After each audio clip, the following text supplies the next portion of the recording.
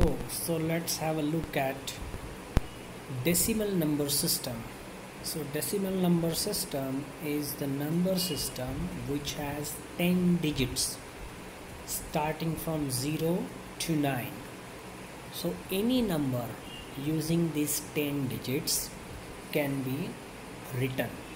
in a decimal number system. So as you can see on the screen, this is a number 1, 2, 3, 4, 5, 6 and 7, 8 up to 9 and these digits can be written in any order provided they each digit is between 0 and 9 any number. So now each digit has its place value.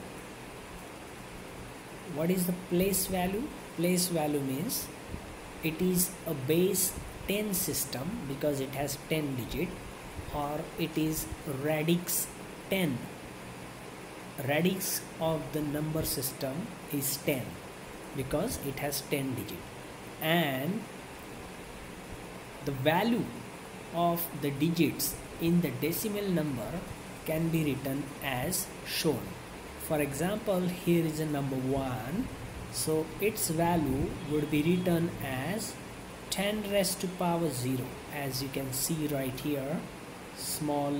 letters 10 raised to power 0 that equals to 1 next the digit 2 its value would be written as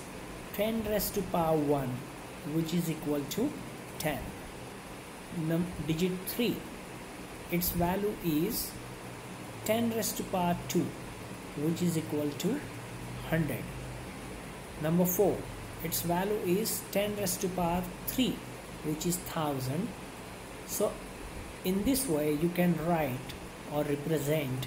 any decimal number and you can know what is the value of each digit. For example if I write 1 5 3 so the value of digit 3 would be written as 10 raised to power 0 which is equal to value of 5 can be written as 10 raised to power 1 which is equal to 10 and value of 1 would be written as 10 raised to power 2 which is equal to 100 so in this fashion you can write any decimal number and determine its value by putting the power onto the 10 why 10 because the base of this system or the radix of the system is 10